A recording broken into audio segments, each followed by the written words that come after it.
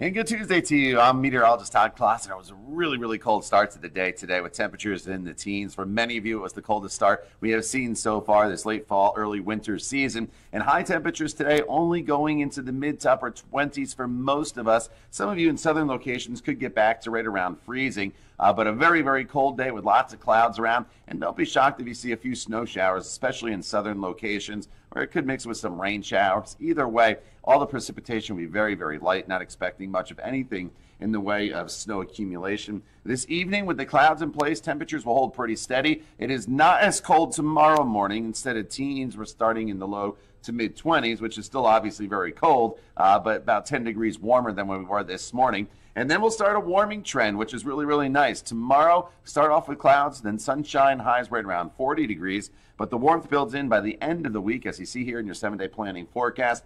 Highs by Friday into the low 60s. Rain showers do develop Friday afternoon into a Saturday with high temperatures that remain above normal all the way through the weekend and into next week.